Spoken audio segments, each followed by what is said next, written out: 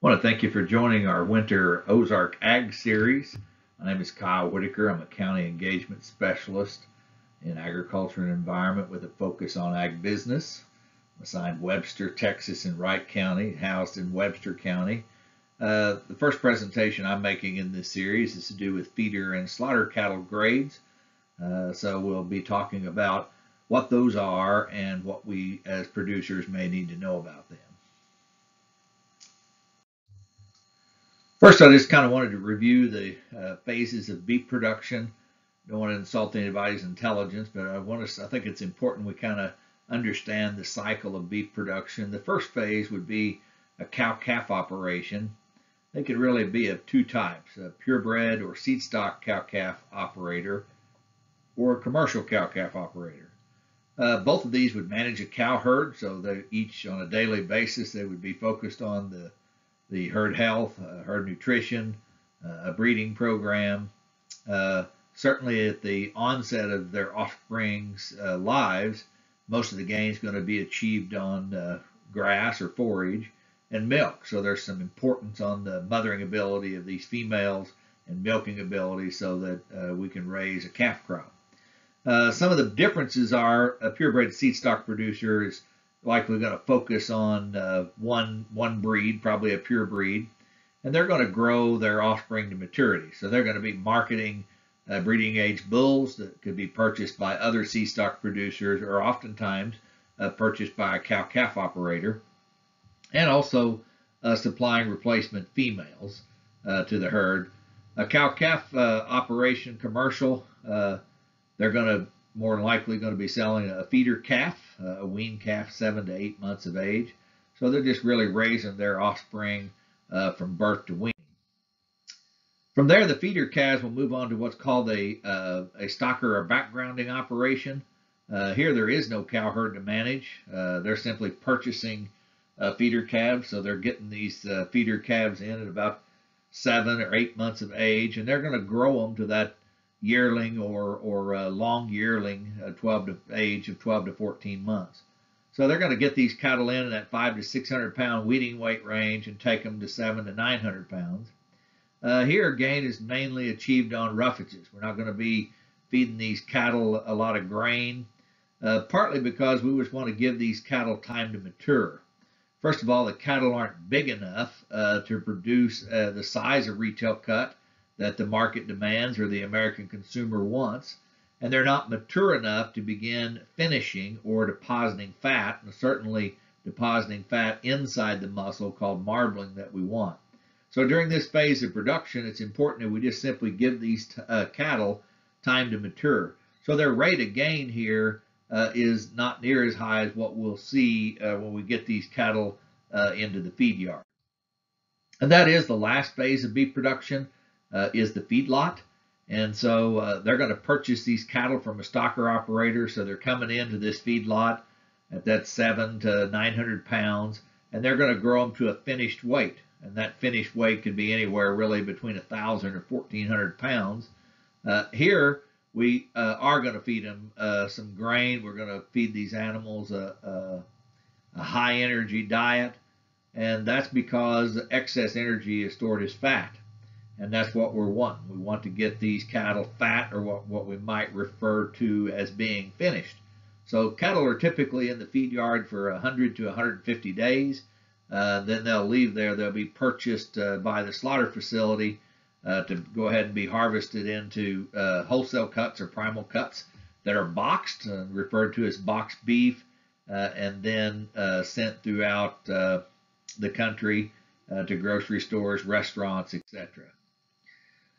So our first uh, topic that I want to tackle tonight is uh, feeder cattle grades. And so really feeder cattle grades are, are determined by evaluating uh, three uh, characteristics, and that is uh, frame size, thickness, and thriftiness. Uh, frame size is just, you know, the skeletal measurement that considers the height and body length of, of an animal or calf, in this case, in relation to its age. Thickness is just refers to the development of the animal's muscling in relation to their skeletal size. And then thriftiness uh, is just a general uh, appraisal of the apparent health of the animal and its ability to grow and fatten normally. So uh, in essence, uh, what a feeder calf grade is, it is simply a prediction of what type of fed animal this calf will become. What kind of animal will this feeder calf that's just seven to eight months of age, when it is a year and a half and it's coming out of a feedlot after being on feed for 150 days, what does that animal look like? And more importantly, what type of carcass is that animal going to produce when we go ahead and, and harvest them? So feeder cattle grades standards at least were mandated uh, by the Agriculture Marketing Act of 1946. And there's been several changes to feeder calf uh, grade standards. Uh, the most recent one was in October of 2000. And basically what they did at that time was to add a fourth muscling score uh, to the feeder cattle grades.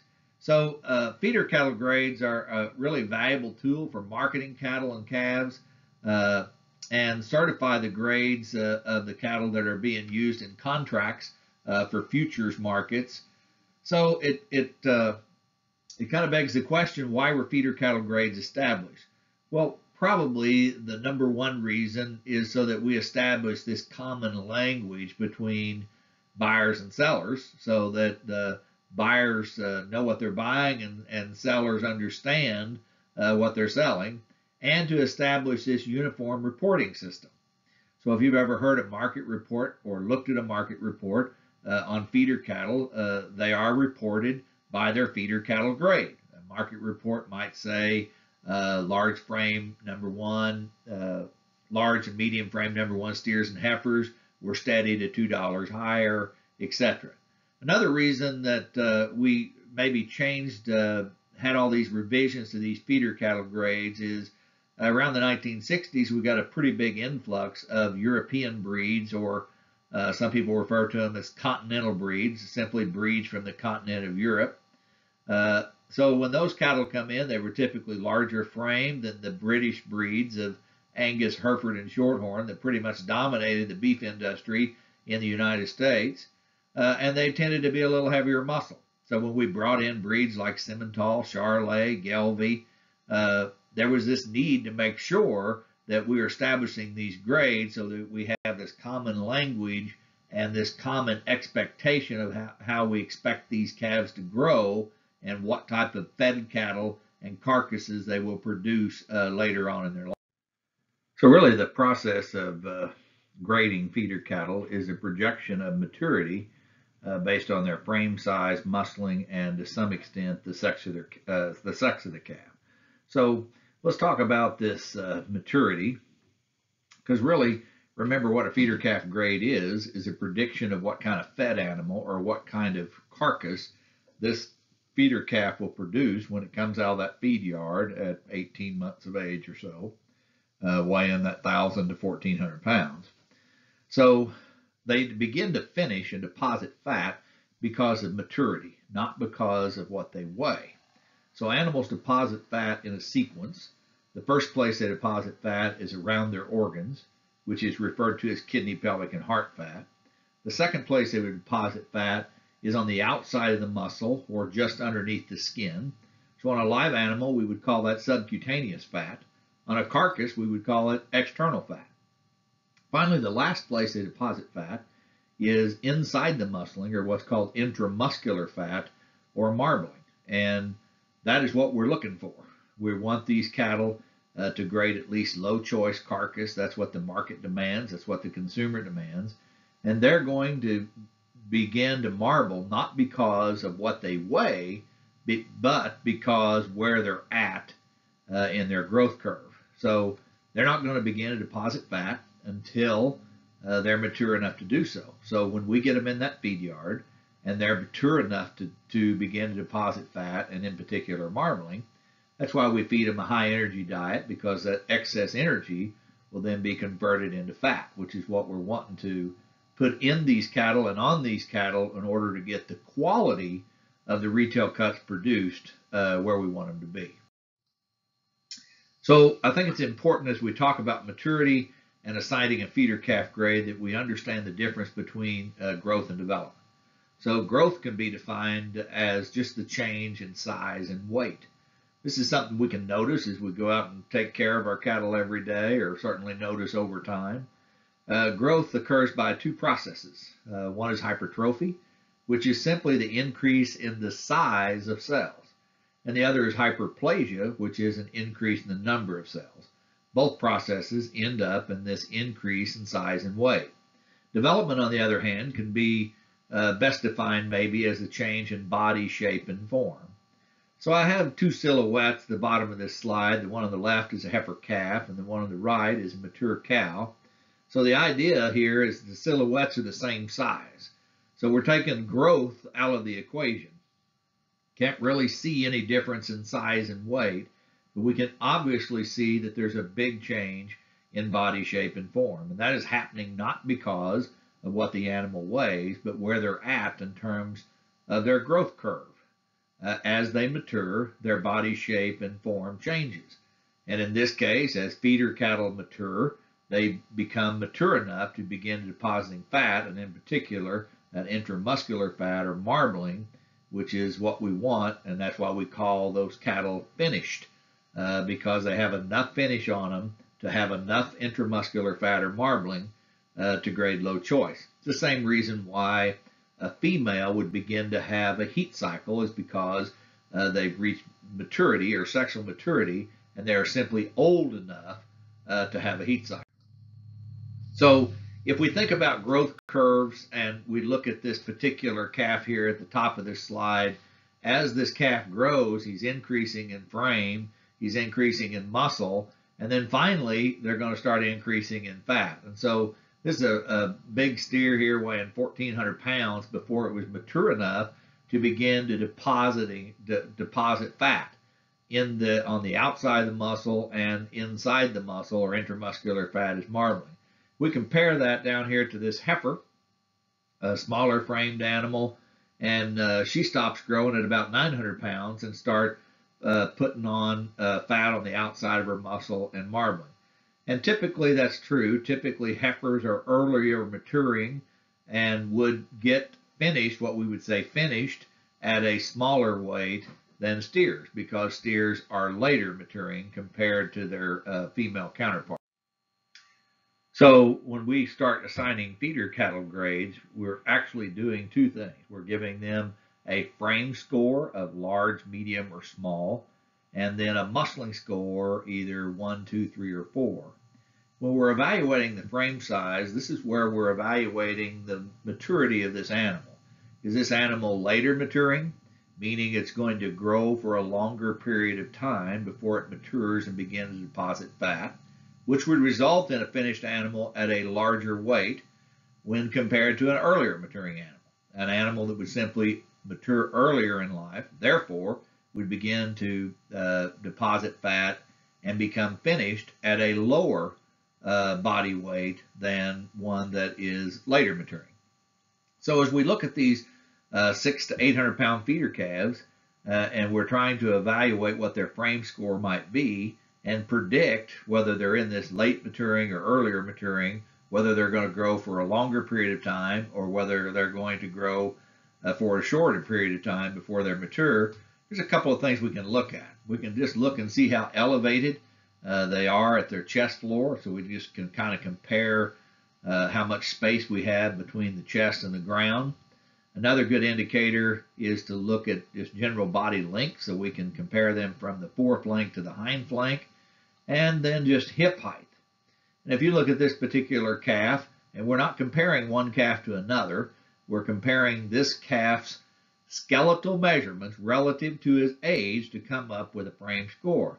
This is a youthful looking calf. It's got quite a bit of body length. Uh, looks to have quite a bit of leg underneath it. A calf that looks like it's going to grow uh, for quite a while before uh, it begins to mature enough at least to deposit fat. The other thing that uh, we need to know about these frame sizes and, and in a feeder calf grade is really what are they telling us?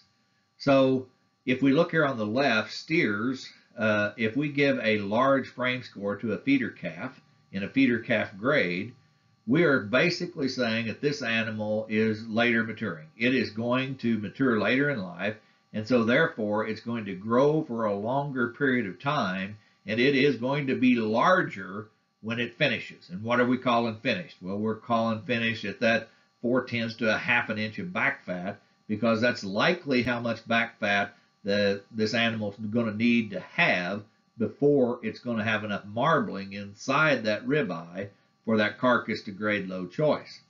If we give a feeder calf a medium frame score, then we're saying that this animal is going to be finished or have this amount of back fat and marbling as desired at a weight between 1100 and 1250 pounds. And if we give it a small frame score, we're saying that this animal is quicker or earlier maturing and will finish in terms of fat cover and marbling at a live weight of under 1,100 pounds. Now, if you look at the heifers over here, we've already mentioned that heifers are typically earlier maturing uh, than, than, their, than their male counterparts. And if we look at this, that, that is still true. It's saying if we have a large frame heifer, a heifer calf, a heifer feeder calf, and we give it a large frame score, that heifer is probably going to grow to over 1,150 pounds before she's finished. Uh, if we have a medium frame uh, score on a heifer feeder calf, we're saying that when that animal has enough fat cover that we can call it finished, and it's likely going to grade low choice when we slaughter it, is going to be between that 1,000 to 1,150 pounds, and a small frame would be under 1,000 pounds. So the next thing we need to look at when we're talking about feeder cattle grades is how to evaluate muscle. And so if we look at this, uh, this calf here, we might want to look right through the center of its quarter or what you might call stifle the stifle. It's a good indication of width because remember, uh, muscle is how much muscle development there is relative to their skeleton. So if we have a wider skeleton, we're more likely going to be able to put more muscle in that wider skeleton. We can also look up here at the hip, and if we've got a wide a wide pin set in this hip, we tend to have more width in this rump, and it's going to be flatter looking uh, from that tail head over to their uh, hook or pin bone. I think it's important we also look right down at the ground, kind of look at that base width. And so we can see this is making a, uh, a pretty wide rectangle here, which is an indication that this animal has uh, some muscle. And remember that muscle is attached to that skeleton. So the skeleton, uh, what, how the skeleton is made or designed affects how much muscle that calf can have. If we compare that over here uh, to this calf, certainly you can see it's got a lot less muscle and we get a totally different shape. An animal is almost wider up top than it is when we look down at its base, uh, certainly a lot narrower from stifle to stifle, and we almost get this triangular shape when we're studying how much width of hip we have and how wide their pin set is when we look at the animal from the rear view, which indicates this animal is significantly lighter muscled uh, than the white calf we have on the same slide.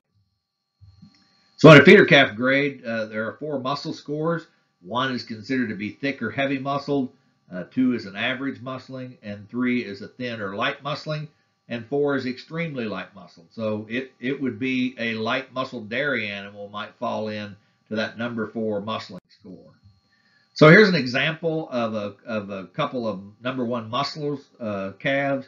The one on the left falls into that high one category, and then the black calf on the right is a low one, meaning it's close to being a number two muscling or what we might call a high two. Here's a number two muscling. Again, on the left, we have a high two, uh, which is a little bit more muscling. We might go ahead and put this feeder calf up into the number one muscling score. And then we have an example of a low two, meaning it's close to a number three muscling. This slide, we're showing you a high three muscling score and a low three muscling score, and then here's the number four muscling score, uh, extremely thin. And here they are all together. And so we can uh, just look at this different shape that we're getting when we compare that right through the center of their hind quarter or stifle to stifle compared to their base width. Uh, this is an indication of how much skeletal width we have and therefore how much muscle development uh, that this feeder calf has. So the possible feeder calf grades, there's 13 of them. They could either be a large frame number one, or a large frame number two, a large frame number three, or a large frame number four. and then that carries on through the medium frame with the four muscle scores, the small frame with the four muscle scores, and then we could have an inferior grade, and this would include cattle that are just sick or unthrifty, or what we some people refer to as double muscled cattle, because double muscled cattle or cattle with hypertrophy simply uh, don't de never deposit enough external fat to deposit marbling inside the muscle, so they have no opportunity uh, for grading that low choice quality grade that we're looking for. And so those feeder calves would be considered inferior because they are never going to be finished at any weight. Another thing I think it's important for us to look at when we're considering this frame size uh, relative to age and their skeletal uh, measurement and their muscle is uh, what else about the animal tells us this animal is youthful and has got a lot of grow left or is quick maturing. And so here's a picture of a calf that uh, probably doesn't weigh a whole lot, uh, but one that's got some indicators this calf is much older than it should be. And so therefore, we probably need to lower its frame score. I think a good place to look is just look at that overall tail length. For a younger calf, a feeder calf, and that seven to eight months age, that tail shouldn't be distended way down past the hock like you see on this calf. You're going to see a lot of twist in that switch of the tail, which just simply means this calf is older than you might think. We can look right up in their face. We've seen one that's wide muzzled, maybe one that has some coarse hair over their poll. And so this is the kind of feeder calf that order buyers will see.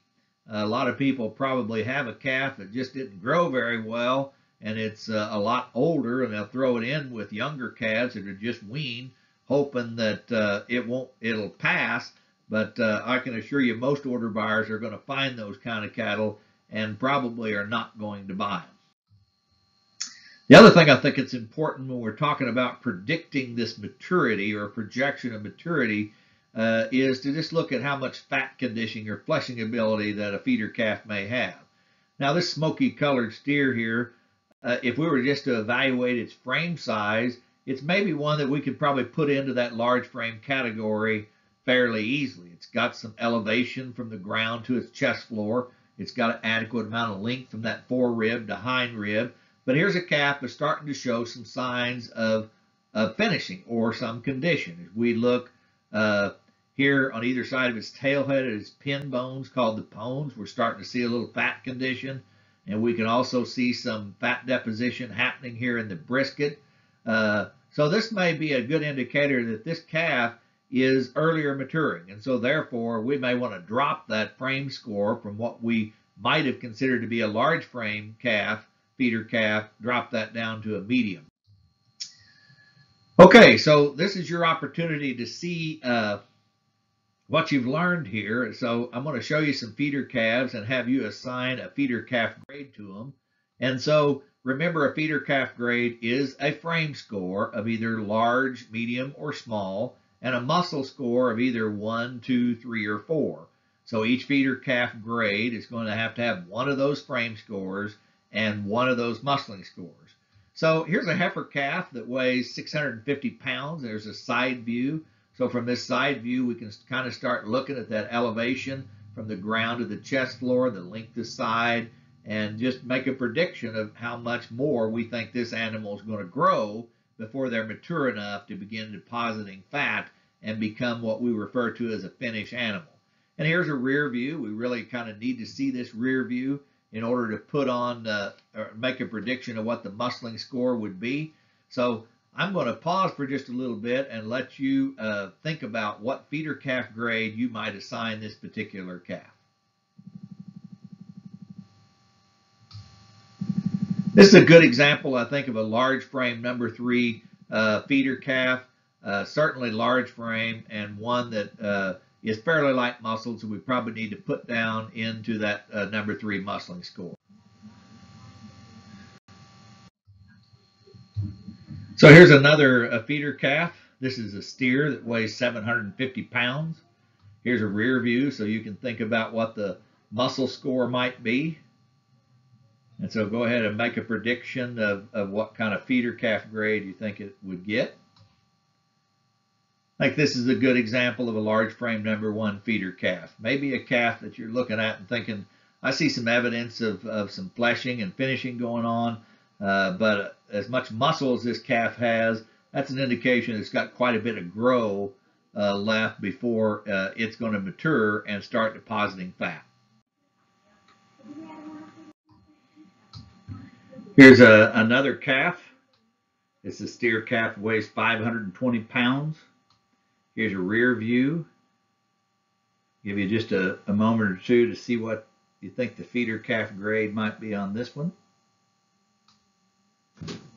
I call it a medium frame number two. It's a pretty common calf that we might see going through an auction here in southwest Missouri, a black baldy calf. Uh, I think we need to go a medium frame here uh, simply because we're starting to get a little bit more middle and just not as youthful looking as some of the other calves we saw. So this is the type of frame uh, of, a, of a feeder calf that we'd expect uh, to probably mature a little bit earlier uh, than a large frame steer Here's a steer that weighs 475 pounds. Here's a rear view. Like this is a good small frame number two. Here's a calf that for 475 pounds sure has quite a bit of mature look to it.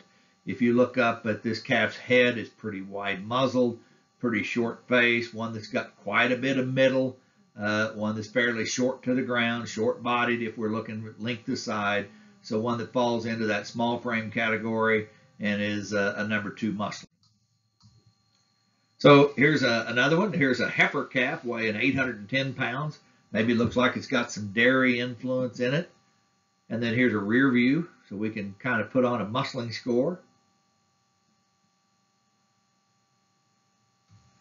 I'd call this definitely a large frame and a number three muscling.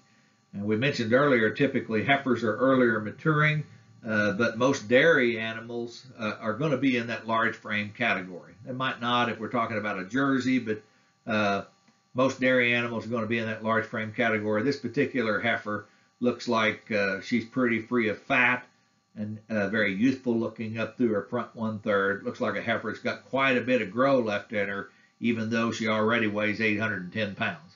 So we'd expect her to be in that large frame uh, for a for a heifer coming out of the feed yard before she's mature enough to have enough fat that we can call her finished. Here's a little Hereford heifer, 635 pounds, and here's a rear view. Like this is a good example of a medium frame number two or a feeder calf score, a medium number two. Uh, here's a this little Hereford heifer is a little bit shorter couple, a little bit shorter bodied, uh, one that just has that look like she's a little quicker or earlier maturing and will reach uh, that finished weight uh, smaller than one of its counterparts that might that we might consider to be large frame. Here's a steer weighing in at 690 pounds. Here's a rear view so you can assess the muscle to give a muscle score. And so go ahead and make a prediction on what you think the feeder calf's grade would be for this particular calf.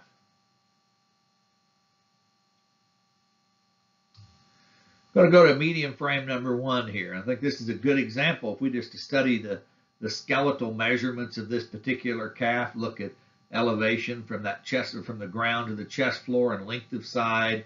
Uh, here's one that you can think, well, that easily would fit into that large category. However, if you look at this calf, we're starting to see some evidence of fat. If we look to its brisket uh, down its top line, uh, uh a steer that's got quite a bit of middle to it indicates that's an indication that's a little bit more mature. That's an awful heavy muscled calf, but uh, one I, I think is going to fall into that medium category just because we're starting to see some evidence of, of some finish uh, on this calf already at 609 at 690 pounds. Another steer at 600 pounds. The rear view of that steer looks like a crossbred steer. It's a good example of a medium frame number two musclings. Calf is just simply shorter coupled. Uh, looks like it's a little quicker, earlier maturing as we study its skeletal measurements and look at that front one third and a steer that falls into that number two uh, muscling score pretty handily. And we got a steer here. It looks like a dairy influenced steer at 605 pounds. Here's a rear view of that steer. I'll give you just a minute to think about uh, what you think the feeder calf grade might be.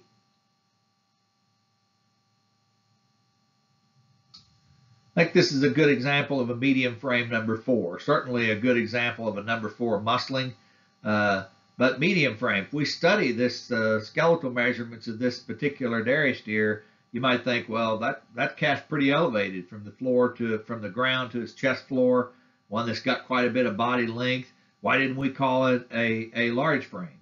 Well, I think there's some evidence of fleshing here, especially for a dairy animal a dairy animal will reach that uh, enough marbling to grade low choice at about half the amount of external fat uh, that it takes a, for a beef animal to get to that low choice, uh, enough marbling to be considered low choice. So this particular steer looks like it's starting to put on some finish and we probably need to drop that frame score down from a large to a medium. Here's a steer weighing in at 810 pounds. Here's a rear view of that steer. This is just really a pretty good example of a large frame number one uh, feeder calf. Uh, steer's got quite a bit of body length. If we look at it from the side, it extended up through its front. One that's uh, got a lot of muscle and doesn't have a, a whole lot of evidence of, of fat cover yet, and certainly falls into that number one muscling score. Here's another steer weighing in at 685 pounds. Here's a rear view of that steer. I'll give you just a second to think about what kind of feeder calf grade you would assign this one. It's a really good example of a medium frame number one uh, feeder calf grade. And so if we look at the skeleton of this particular steer, shorter to the ground, shorter coupled, uh, one that's starting to get a little bit more middle. So we need to put it in that medium frame category and one that is a number one muscling, but probably on the low side of number one muscling. So we talked earlier about uh, an inferior grade, and so uh, cattle that are a lot of people refer to as double muscled, which is uh, really not correct. It's not like uh, those cattle have one muscle on top of another or have twice as much muscle as other calves do. It is that process we referred to earlier as hypertrophy, which is just simply an increase in the size of the muscle cells. Uh, but these cattle are often or almost always graded inferior in terms of a feeder calf because they do not have the ability to finish and will never have enough marbling to reach that low choice quality grade. Uh, so they're given the inferior grade. So how does these feeder calf grades uh, affect the prices? Well, here's some price, uh, some prices, some feeder calf uh, market report from a couple of weeks ago. If you look at the top of this, you can see uh, that our uh, medium frame, uh, large, medium and large frame feeder calves that number one score. And if we look at this five to 600 pound weight, we've got a price range here of a, of a, of a low of $1.55 uh, per pound or $155 per hundred up to $170 per hundred. If we take those frames, same frame scores, but drop down to a number two muscling, we're in this 121 to uh, $138 a hundred. So there's a pretty significant difference. So the market uh, and the order buyers out buying these cattle, they like those cattle have that amount of muscle because later on when we hang this carcass up, that muscle is going to help them with yield grade. Uh, and so they're interested in having some muscle on these cattle. We all know that if we take our heifer calves to the sale barn, they just bring less than our steer calves. And part of that is is because this fact that they mature earlier. When we take these uh, these heifer calves and we put them in a feed yard, they're going to be finished and going to be slaughtered at a smaller weight. So therefore, we're going to have a smaller carcass weight. We simply just have less pounds of retail cuts uh, that we're able to market from that. So they're going to bring less. So if you look here in that five to 600 pound weight, we're in that dollar 24 uh, maybe up to a, a, a dollar forty-one fifty a pound or a dollar forty-two a hundred or so on the high end. Uh, so, and that's a number one muscling, large and medium frame. So I want to move on and talk a little bit about slaughter cattle grades because remember the feeder calf grades are predicting what kind of slaughter cattle these calves are going to be. So in essence, it's predicting what are their slaughter cattle grades. So grades of slaughter cattle are intended to be directly related to the grade of the carcass that they produce. And so really to do that, uh, to accomplish that, they're based on two factors. One of them is just simply what we would call the quality or palatability, uh, the expected taste. And so indicating characteristics of the lean, uh, and that is referred to as quality grade. So carcasses are assigned a quality grade. And then we need to kind of look at what the quantity or cutability of a particular carcass would be, or a prediction of what the percent or the amount of trimmed uh, boneless retail cuts that we can get from a carcass, and that is referred to as a yield grade. So when we're talking about fed cattle, and this can be a little bit confusing if you're listening to market reports, but fed cattle are also referred to as fat cattle, are also referred to as live cattle, also referred to as slaughter cattle. They're marketed primarily by three methods. And those methods are live weight, or what we call a dressed weight or a carcass weight, meaning in a live weight, the, the seller is paid so much per pound for what the animal uh, weighed live. In a dress weight, the seller is paid so much per pound for what the carcass weight of that animal was. And the last method is what's referred to as a grid or formula, where the uh, seller is paid on how good the carcass is. What was the quality grade of that carcass? What was the yield grade of that carcass? So it's important, I think, for us to know that even live price is based on a grid formula pricing when cattle are marketed through an auction. Uh, or they're being purchased through what's called a bid price or a cash negotiated price. Now, what I mean by that is when packers buy a pen of cattle live, they are predicting what kind of grid and formula those cattle are going to be. How good is the quality grade and yield grade uh, going to be? So they're taking into account when they when they buy this pen of cattle or this lot of cattle, uh, when they evaluate what they think the quality grade and yield grade of that of that pen is going to be, what what do they think the cattle are worth based on that? And that's going to affect how much they give for them in a, in a live weight uh, per pound. So I think it's kind of important that we kind of understand the grid formula pricing to kind of help us understand how live cattle uh, are priced. There's been some controversy with uh, the four big packers, uh, and you know some people think that They've got a monopoly on the market. I think you can find cattle producers on both sides of the coin here, but there has been quite a bit of legislation to give some transparency to the beef industry uh, from these packers. Uh, so there was one bill that was introduced called the 5014, and basically what that bill is uh, is trying to do is that 50% of all the cattle that are purchased by the the four big packers are purchased through a cash negotiated bid. And the reason uh, proponents of that would be that this would create some competition between them and that would have a positive effect on price for beef producers. The 14 of that 5014 bill literally means that those cattle need to be delivered and slaughtered uh, within two weeks.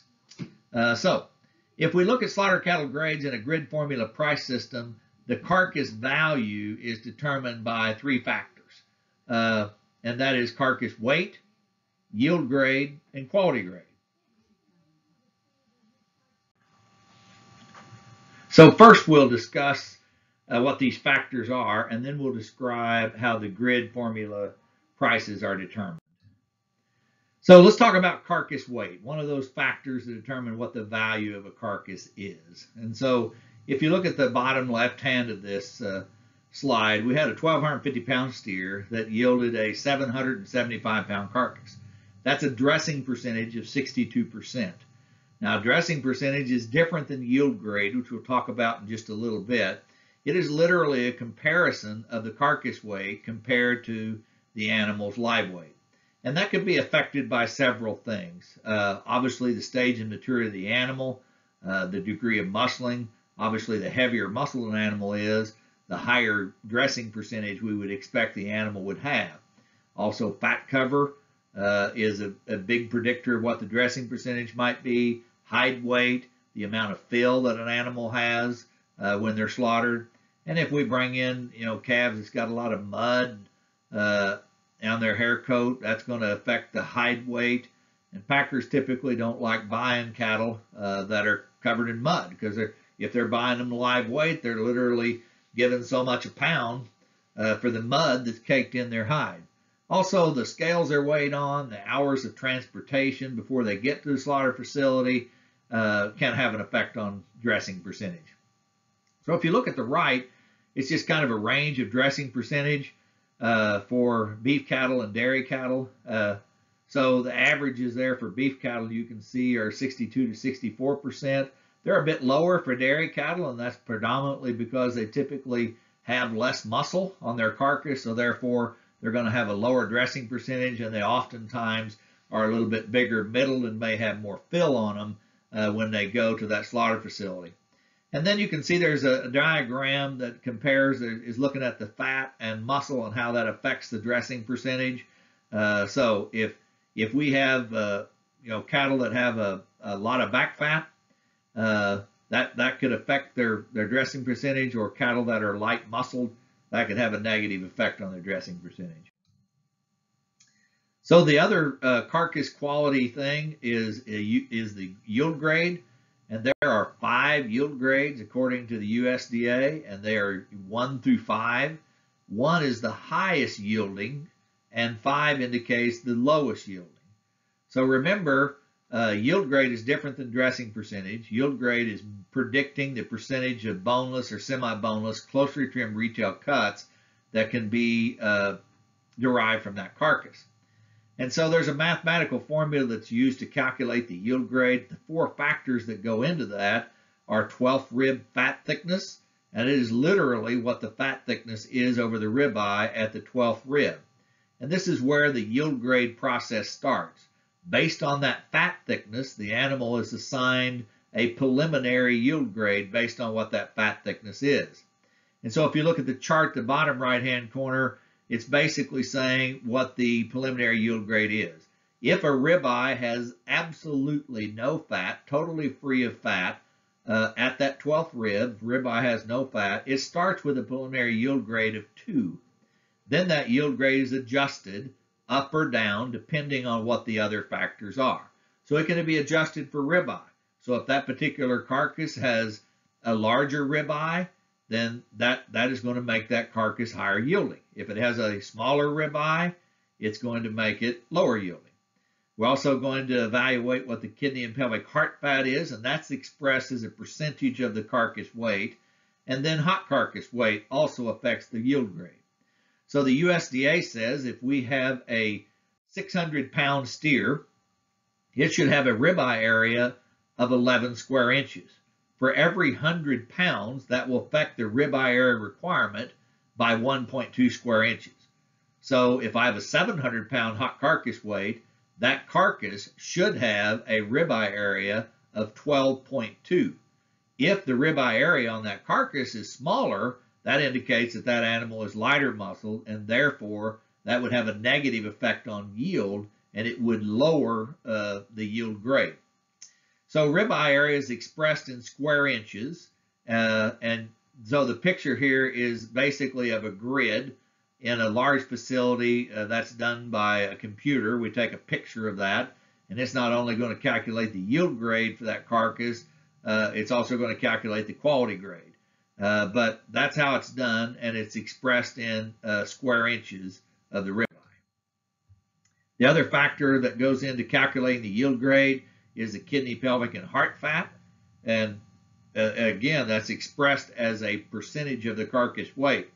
Absolutely no way to look at a live animal and predict what the kidney and, know for sure what the kidney, pelvic, and heart fat is. So we use the external fat thickness as a good indicator of that. As you can see, if we've got a quarter inch of fat on this uh, on this live animal, we're, we're going to assume that the KPH is somewhere between that 1 and 1.5% of that carcass weight. And you can see as the fat thickness increases, the percentage of kidney, pelvic, and heart fat increases as well. So here's just uh, some pictures of the five yield grades and notice that there's a significant amount of difference in the fat cover on all these uh, pictures. We're not, we're not looking at marbling here. We're not looking at quality. This just has to do really with lean to fat ratio and examples of, of, of the different yield graded carcasses of yield grades, which is predicting the amount of retail cuts that we'll be able to get from that carcass. Uh, then the other thing that we use in the grid formula is, is the quality grades. And there's two factors used to determine the quality grade of a carcass. One of those is marbling, which we'll talk about in just a little bit, but there are nine degrees of marbling, and marbling is those little flecks of fat that we see in the ribeye, known as intramuscular fat. The other factor that's used to determine the quality grade is a maturity group. And there are five maturity groups, A through E. A is the youngest, E is the oldest, and overwhelmingly the majority of cattle that we slaughter in the United States are going to fall into the A, maybe a few more, a few might fall into the B category, uh, at least the animals that we're slaughtering for human consumption. So after we determine the marbling or what the degree of marbling is, and we determine the maturity, then those are combined to give us a final quality grade. And so there are eight quality grades of beef, prime, choice, select, standard, commercial, utility, cutter, canner. And those first four are really designated for the young cattle that fall into that A or B maturity group. Uh, and then the other uh, quality grades are more designated for older animals that are obviously producing older carcasses. So this is a, a marbling card. Uh, so you see along the left, we have the degrees of marbling, nine of them from abundant all the way down to practically devoid. Across the top, we have our, our maturity groups, A through E. And so you just simply uh, read this like a chart. If I have a carcass that is A maturity and has a modest amount of marbling, that is a choice carcass. In this particular case, it would be an average choice. If it had a moderate degree of marbling and an A maturity, that would be a high choice. If it had a small degree of marbling and an A maturity, then that would be a low choice. And that small degree of marbling is really what the industry standard is. If we're going to get cattle to grade that uh, low choice, we need them to have that small degree of marbling when we pull them out of that feed yard and take them to the packing house. And that's what feeder calf grades are predicting. They are predicting how big will this animal be when it has enough marbling to get into that small degree of marbling category that will allow for that carcass uh, to grade low choice. So it's really a balanced beam between the quality grades and the USDA grades. So as the quality grade increases or gets better for a carcass, we can expect the yield grade to go down. And the opposite is true. If we have a real high yielding carcass, it's going to be a little bit more difficult for that carcass uh, to be, uh, you know, a higher, higher quality. And so one chart here I've showed you is just the different breeds, comparing the English breeds, the continental breeds, uh, some Zebu or Brahma breeds, and dairy breeds, and how much uh, external fat usually it takes for them to go ahead and fall into that choice category. And I mentioned this earlier, but if you look, for example, at the dairy type for a dairy animal uh, to get in that prime category, quite a bit less uh, back fat or external fat when we compare those to beef. There's a lot of people out there that say Jersey beef is, is the best beef to slaughter. And this would kind of support that a little bit. At least is telling us that Jersey beef marble very well. Uh, so this just comparing the different types of, of animals with the fat thickness that does that. So here's some just rules of thumb regarding quality grade. Heavier muscled cattle uh, grade lower than lighter muscled cattle. It's simply easier to get a lighter muscle animal fat or finished compared to a heavy muscle animal. Thickness due to muscle usually results in a lower quality grade. Thickness due to fat usually results in a higher quality grade. Animals with a poor disposition that get excited uh, before slaughter can oftentimes lower their quality grade. Frame, frame size uh, related to fatness and weight can, uh, when determining a quality grade, for example, if I have a, a large frame steer at 1,100 pounds, uh, we will have a lesser chance of it grading choice than a smaller frame steer that weighs 1,100 pounds. Implants can have a negative effect on, on quality grade as well. So here's the pricing methods that we talked about, how we can sell these cattle, either live weight, dress weight, or grid pricing. And so uh, traditionally, pricing systems, live and dressed, don't take into consideration the value of an individual uh, pen of cattle. So when those buyers show up to a feed yard, if they're buying live or dressed, they're buying usually multiple pens, multiple loads, multiple lots of cattle.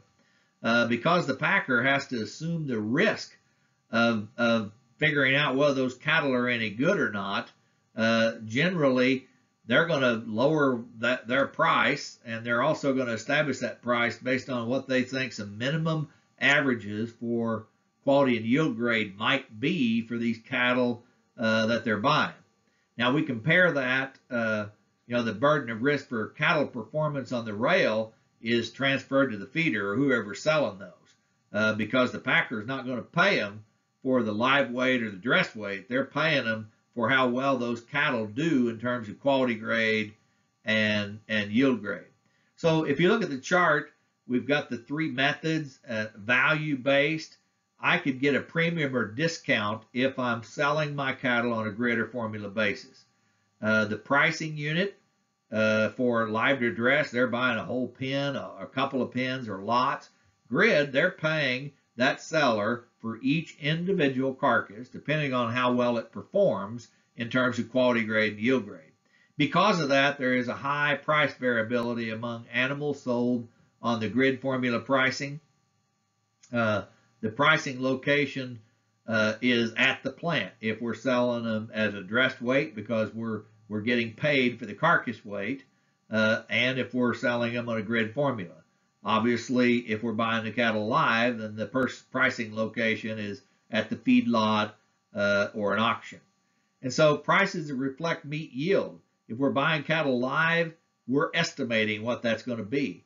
If we're buying uh, cattle for dressed weight, then we're basing that strictly off the carcass weight and its dressing percentage. If we're buying cattle on a grid or formula, then we're going to be paid a premium or discount based on what uh, the yield grade is. And so you can see the price, uh, the base price can vary quite a bit with a grid formula. Uh, carcass performance risk, uh, if, if I'm the seller uh, on grid formula, I assume the risk. And in the other two methods, that packing house buying those cattle, they're buying them live or they're buying them based on their dressed, dressed carcass weight, but they're making a prediction of how well they're going to perform in terms of quality or yield grade. So what kind of premiums can producers get and what kind of discounts? Well, if you look at this, this is a slaughter cattle report from Monday, February the 8th. If you look at the quality grade here, uh, the simple average was uh, $14.39 uh, per hundredweight. There was a high, meaning there was a, at least one prime carcass that received a $28 premium per hundred.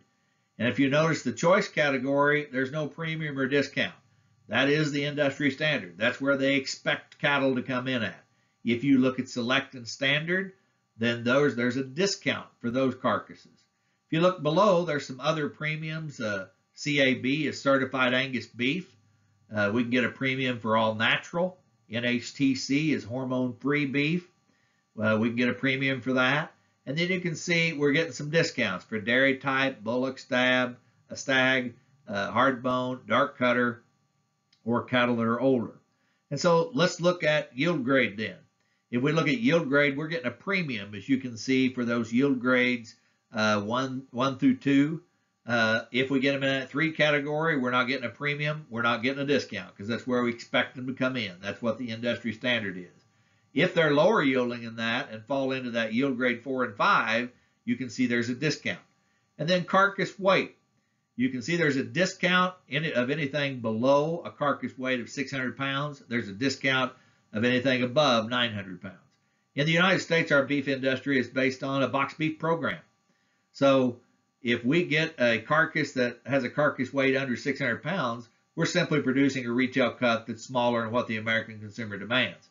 If we get a carcass over 900 pounds, we run into a couple of issues. First of all, those carcasses are harder to handle in the packing houses, and we may end up with a particular wholesaler primal cut that is too big or too large to fit in the box of our box beef program. So therefore, it's going to be discounted because it's going to have to be cut up and used in different ways. So I, I thought this picture was a good one just to show you that cattle do grow different. At one point in time, these two calves uh, were probably the same size, uh, you know, when they at least started, were first born. you can certainly see a huge difference in conformation here. Don't know what the weight of these calves are. It may be similar, it may be way off, uh, but I just want you to look at how they're made so differently in terms of their conformation. And this is because of growth and development, not because of what they weigh. So I just want to show you some examples of live cattle and, and what uh, they might look like in terms of these yield grades. And so here's a calf that would be a good example of a yield grade number one. Uh, we don't see any real indicators here that this calf's starting to put on any fat and it's awful heavy muscled. And so that's going to make it a high yielding carcass. This may be a steer that's going to have a hard time reaching that low quality grade uh, carcass when, when we go ahead and harvest it, but it's a good example of a yield grade number one. Here's a good example of a yield grade number two. First of all, we might just note this calf's a little bit lighter muscled, lacks the muscle shape of the first steer we saw. One that's starting to get just a little easier fleshing look or smoother over its top line and rib, which is an indication it's got some fat cover. And if we look right there through that brisket, we're starting to get some uh, evidence of fat fat depositing going on there. Here's a yield grade number three. Uh, again, one that falls in that industry standard. This is a steer that I wouldn't say was finished yet in terms of having enough fat cover, but uh, one that's a good example of a yield grade number three. Here's a yield grade number four. We can see quite a bit more evidence of fat as we look through the brisket over the top line you look down through this lower rib, we're not seeing indication of, of those ribs. They're completely covered up with fat.